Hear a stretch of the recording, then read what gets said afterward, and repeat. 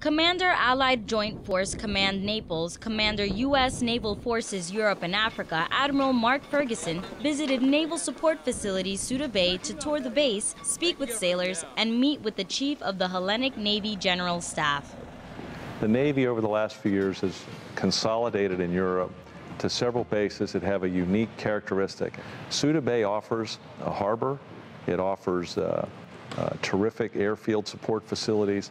It offers the ability to sustain naval presence forward in the eastern and central Med, and from that standpoint, it's an important place for us to operate from.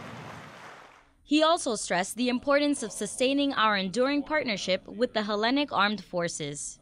We rely on the, the support, the hospitality um, of the Hellenic Navy, the Air Force, the Army, and the Greek nation for our ability to operate from here.